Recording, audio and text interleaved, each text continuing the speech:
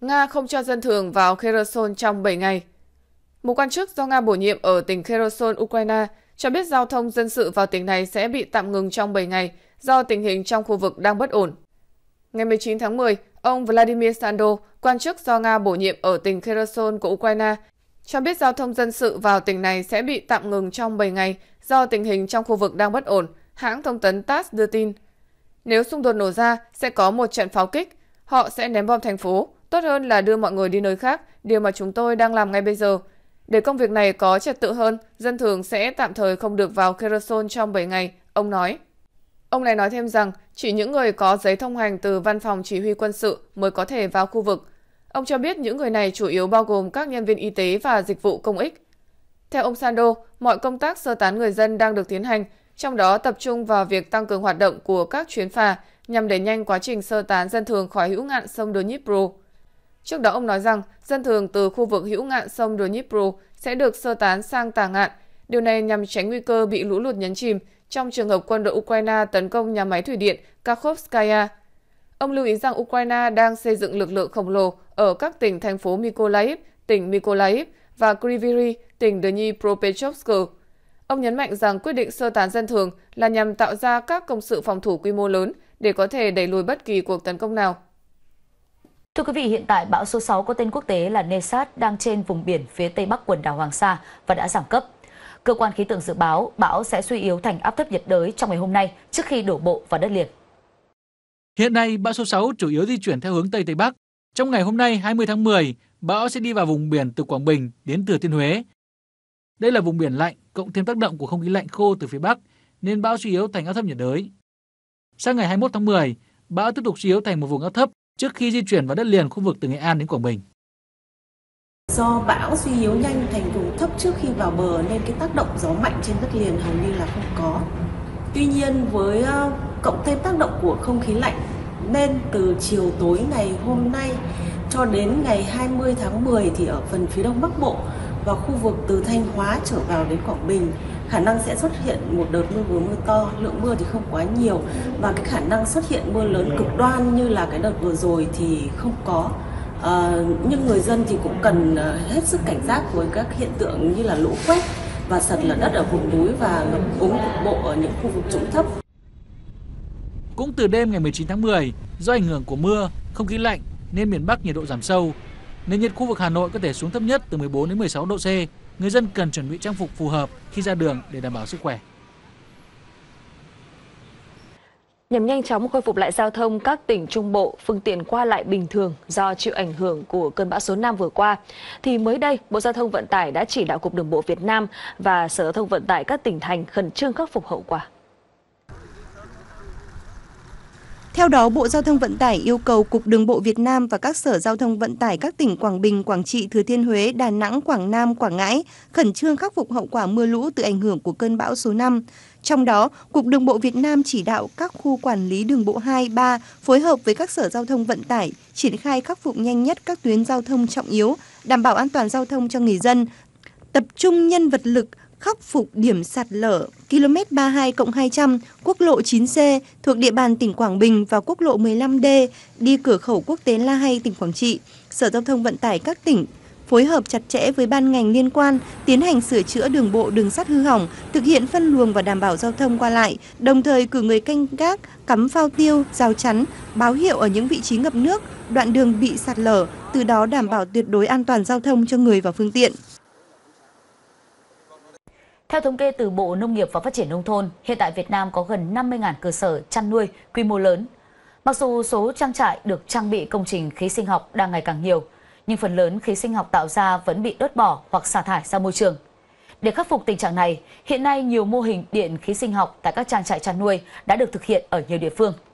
Phát triển điện khí sinh học không chỉ bảo vệ môi trường mà còn giúp cắt giảm lượng khí metan mà Việt Nam đã cam kết với cộng đồng quốc tế. Trang trại của gia đình ông Trần Đình Dương tại tỉnh Phú Thọ nuôi hơn 1.000 con lợn. Trước đây, phân thải từ việc nuôi lợn mới được gia đình ông sử dụng làm biogas trong đun nấu. Giờ đây, lượng phân thải còn được ông sử dụng phát điện tiêu dùng trong trang trại.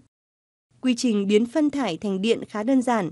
Đầu tiên, phân thải được đưa xuống hầm bioga. Sự phân hủy phân thải biến thành khí metan. Khí metan là nguồn năng lượng chạy máy phát điện. Với mô hình này, gia đình ông đã tận dụng một cách hiệu quả phân chăn nuôi và không còn mùi gây ô nhiễm môi trường. Phát điện bằng khí sinh học này, chúng tôi thấy rằng là cái nhất là cái ưu điểm là tiêu thụ được cái lượng cái nguồn khí bioga sau khi mà nuôi nuôi lợn nó thải ra ờ, tránh gây ô nhiễm môi trường. Cái thứ hai nữa là tiết kiệm được cái nguồn năng lượng điện cho hoạt động của trại mỗi tháng là chúng tôi dùng hết 75 triệu tiền điện nhưng nay thì đỡ được 50 triệu tiền điện. Theo Bộ Nông nghiệp và Phát triển Nông thôn, hiện cả nước có khoảng 13.752 trang trại chăn nuôi quy mô lớn và khoảng 35.000 cơ sở chăn nuôi quy mô vừa. Tổng lượng chất thải chăn nuôi lên tới 81,8 triệu tấn một năm, tiềm năng phát triển điện khí là rất lớn. Khi mà áp dụng khí sinh học ấy, để xử lý các chất thải thì nó sẽ đáp ứng được các cái mục tiêu sau. Thứ nhất đấy là xử lý về môi trường. Cái thứ hai nữa là giúp cho Việt Nam giảm phát thải khí nhà kính. Cái thứ ba nữa là có cái nguồn năng lượng sạch để mà sản xuất và sử dụng. Thế thì hiện nay thì uh, Việt Nam thì cũng chưa có cái cơ chế khuyến khích để phát triển điện khí sinh học nối lưới. Do vậy thì hầu hết hiện nay thì chủ yếu khi mà sản xuất ra khí sinh học thì hầu hết hộ dân là chủ yếu tự dùng. Thực tế cho thấy hàng nghìn hệ thống khí sinh học được lắp đặt quy mô hộ gia đình sử dụng cho mục đích đun nấu. Một số hệ thống máy phát điện từ khí sinh học được lắp đặt phân tán ở các trang trại chăn nuôi, thay thế cho máy phát điện chạy bằng dầu diesel. Tỷ lệ phát điện lên lưới từ nguồn khí sinh học là không đáng kể và giải pháp lưu trữ khí sinh học cho mục đích cân bằng lưới điện vẫn chưa được quan tâm. Theo Tổ chức Hợp tác Quốc tế Đức tại Việt Nam, Việt Nam có nhiều tiềm năng về phát triển điện sinh khối. Tuy nhiên, việc khai thác các nguồn tài nguyên sinh khối này còn những hạn chế là công nghệ và chính sách. Việt Nam cần những giải pháp tốt hơn để khuyến khích các nhà đầu tư. Bằng việc phát triển khí sinh học để phát điện, Việt Nam sẽ giảm phát thải khí metan và CO2, đồng thời bổ sung nguồn điện sạch cho lưới điện. Tuy nhiên, điện sản xuất từ khí sinh học vẫn gặp khó khăn trong việc tối đa hóa dòng vốn đầu tư do thiếu cơ chế hỗ trợ cho các nhà máy điện khí sinh học nối lưới, chi phí bảo trì hệ thống cao và nguồn nhân lực không đủ. Chính phủ hiện đã đề ra chương trình hành động chính sách về chuyển đổi sang nông nghiệp và lương thực bền vững, trong đó sẽ có khoảng 30 MW điện khí sinh học được lắp đặt vào năm 2030 để thay thế cho các nhà máy nhiệt điện. Mỗi một trang trại đầu tư hệ thống điện khí sinh học sẽ góp phần vào sự phát triển điện khí sinh học của Việt Nam và góp phần thực hiện cam kết của Việt Nam tại COP26. Tỉnh Hà Giang hiện nay có 79 điểm du lịch đang khai thác, 57 di tích lịch sử văn hóa danh lam thắng cảnh được xếp hạng, trong đó có 28 di tích quốc gia và 29 di tích cấp tỉnh. Du lịch đóng một vai trò hết sức quan trọng trong sự phát triển kinh tế xã hội của địa phương và trong đó thì môi trường xanh, sạch đẹp là nhân tố ảnh hưởng lớn đối với sự phát triển của ngành du lịch. Vâng ạ, để du lịch phát triển bền vững thì việc tạo dựng môi trường du lịch xanh, sạch đẹp, an toàn thân thiện với du khách là một trong những yếu tố có tính quyết định. Thời gian vừa qua, việc phát triển các làng văn hóa du lịch gắn với xây dựng nông thôn mới trên địa bàn của huyện Đồng Văn, tỉnh Hà Giang đã từng bước đem lại sự thay đổi tích cực, tạo sinh kế, nâng cao thu nhập, cải thiện đời sống cho người dân và góp phần bảo vệ môi trường, bảo tồn, phát huy các giá trị văn hóa truyền thống và nâng cao ý thức của người dân. Tại làng văn hóa Lô Lô Trải, huyện Đồng Văn, tỉnh Hà Giang, đây là những hình ảnh dễ dàng bắt gặp hàng ngày tại ngôi làng này. Là một trong những hộ kinh doanh homestay tại bản Lô Lô Trải, trước đây, theo tập tục sinh hoạt của gia đình bà Vàng Thị Đay, cũng như nhiều hộ gia đình tại đây, không mấy quan tâm đến việc giữ gìn vệ sinh chung tại bản. Thế nhưng giờ đây, mọi thứ đã khác hơn rất nhiều. Đường làng sạch sẽ, chuồng trại cách xa nhà, người dân thường xuyên dọn dẹp vệ sinh.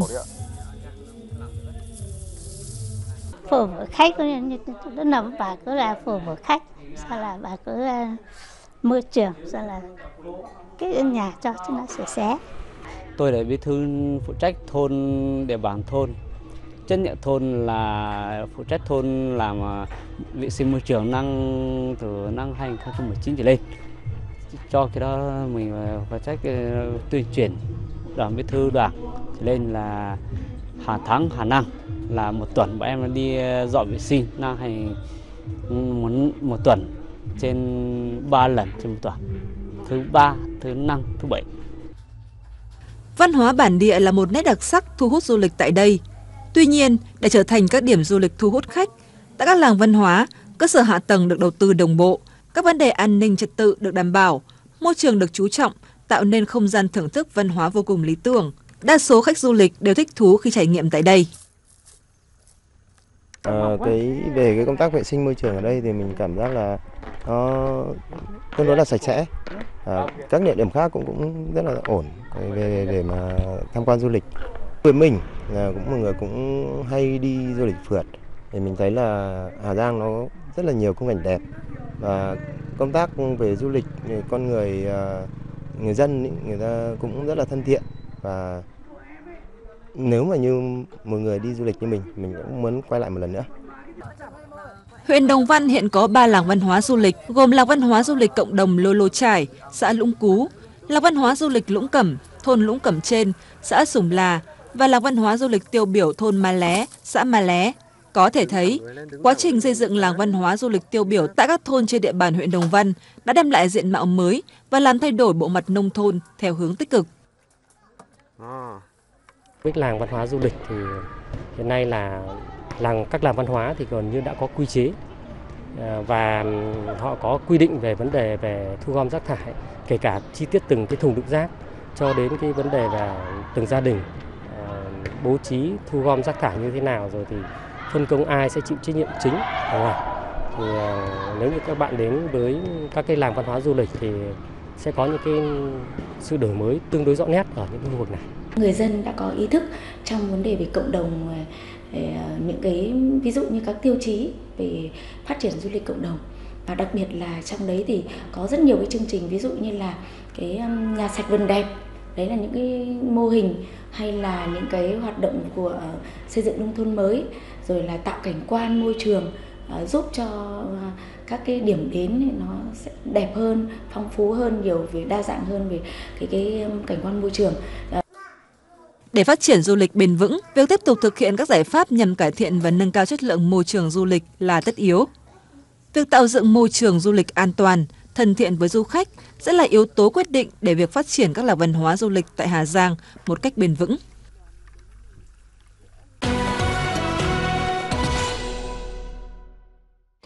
Để kịp thời khắc phục tình trạng cán bộ công chức viên chức xin thôi việc, Ban cán sự Đảng Chính phủ đã trình Hội nghị Trung ương 6 khóa 13 về điều chỉnh lương cơ sở từ 1 triệu 490 nghìn đồng lên 1 triệu 800 nghìn đồng, tức là tương đương với việc tăng 20,8%. Bộ Chính trị đã thống nhất chủ trương giao biên chế giai đoạn 2022-2026 của cả hệ thống chính trị. Theo đó, đến năm 2026, thực hiện giảm 5% biên chế công chức, 10% biên chế viên chức hưởng lương từ ngân sách nhà nước, đồng thời bổ sung 65.980 biên chế viên chức giáo dục cho cả giai đoạn 2022-2026, trong đó năm học 2022-2023 đã giao 27.850 biên chế viên chức giáo dục. Chính phủ chỉ đạo Bộ Nội vụ đã có văn bản đề nghị các bộ ngành địa phương quan tâm đến công tác xây dựng, nâng cao chất lượng đội ngũ cán bộ công chức, viên chức, Chính phủ cũng yêu cầu đẩy mạnh cải cách công vụ công chức, tiếp tục thực hiện tinh giản biên chế gắn với sắp xếp tổ chức bộ máy và cơ cấu lại đội ngũ cán bộ công chức viên chức theo vị trí làm việc, hoàn thiện cơ chế chính sách phát hiện, thu hút và trọng dụng nhân tài cho nền công vụ. Hàng trăm hộ dân tại xã Cốc Mì, huyện Bát Sát, tỉnh Lào Cai lo lắng về nhà bị nứt toác, giếng nước cạn khô, đường xá xuống cấp. Theo người dân, nguyên nhân là do hoạt động khai thác hầm lò tại mỏ đồng Vi Kẽm thuộc phân xưởng khai thác hầm lò chi nhánh mỏ tuyển đồng xin quyền Lào Cai Vimico. Vậy thực hư câu chuyện này như thế nào? Nhóm phóng viên VTC đã có mặt tại Lào Cai để ghi nhận. Căn nhà này của gia đình bà Trần Thị Bình tại xã Cốc Mì, huyện Bát Sát, tỉnh Lào Cai. Thời gian qua xuất hiện nhiều điểm nứt như thế này. Theo bà Bình, nguyên nhân là do hoạt động khai thác mở đường hầm lò của mỏ đồng Vi Kẽm thuộc phân xưởng khai thác hầm lò chi nhánh mỏ tuyển đồng xin quyền Lào Cai Vimico. Mìn với các thứ nổ nó rung hết nhà đi. Có ý kiến mà chả thấy có được tác động gì cả. Đấy, còn ở dưới bếp thì nứt nhiều lắm, gia đình nhà tôi cũng đã tự tu sửa hết rồi nhưng mà clip tôi vẫn quay lại. Ở đây chỗ một mình nhà cô bị nứt này hay là nhiều nhà bị nứt thế ạ? Nhiều nhà bị nứt ạ. Còn gia đình ông Trần Văn Hữu thì ngoài việc nứt tường nhà, ông còn có thêm những nỗi bức xúc khác. Là cái giếng khơi là bị cạn hết nước rồi. Nữa là cái nhà thì lứt hết tường. Báo chính quyền chính quyền vừa đến xem rồi nhưng mà thì có xem xong thì lại về thôi. Chứ chưa có ý kiến gì cả. Mỏ cũng vào xem thôi nhưng mà xem xong cũng về thôi. Trên nhà dân bây giờ lứt như thế thì liệu ở có an toàn hay không? Khác với những hộ gia đình trên, gia đình ông Tần A So lại đang như ngồi trên đống lửa vì hơn 1.000 mét vuông đất của gia đình bỗng dưng không được sử dụng, trong khi sổ đỏ ông vẫn giữ. Nó đang gạt trên cứ mỗi lần trời mưa là nó phủ kín hết sạch là cái đất màu. Họ vẫn chưa đền bù, họ chỉ thống kê là như thế xong đến tháng này hẹn tháng khác sang năm này hẹn sang năm khác, coi thế là gia đình vẫn chịu là chưa chưa được đền bù. Nên như thế mới đề nghị chỗ chính quyền xã với chỗ bỏ đồng đến xem là đấy đấy là đúng sự thật là như thế, nhưng mà vẫn chưa tìm ra cái lối nào để bảo là không có tiền để đền bù cho dân. Mang những thông tin phản ánh trên của người dân đến gặp chính quyền xã Cốc Mì thì đây là những gì chúng tôi nhận được ở đây thì cái vấn đề mà chị chị có ý kiến ấy là tức là về cái nắm bắt ở tình hình ở đây ấy, thì là câu chuyện nó có hay không ấy thì là có cũng phải là có. Cái vấn đề thì thì cũng bọn em ở đây cũng phải giấu giếm gì cả. Thì cái giấu giếm cũng không giấu giếm bởi vì người dân đấy có đâu là cũng có hay là không có hiện tượng nước nhà mình cũng nứt mà. Câu chuyện mất nước ấy ở đây thì à, nó cũng rất nhiều rất nhiều vấn đề. Thì nói chung là cái hiện tượng mất nước là, là nước đục là hoặc là nước tụt có giảm thì phản ánh là cũng có cũng có theo lời khẳng định của Phó Chủ tịch Ủy ban nhân dân xã Cốc Mì, chính quyền địa phương từ xã, huyện, tỉnh đều nắm được nội dung người dân phản ánh. Nhưng không hiểu vai trò của chính quyền địa phương ở đâu khi để người dân ngày ngày phải đội đơn kêu cứu.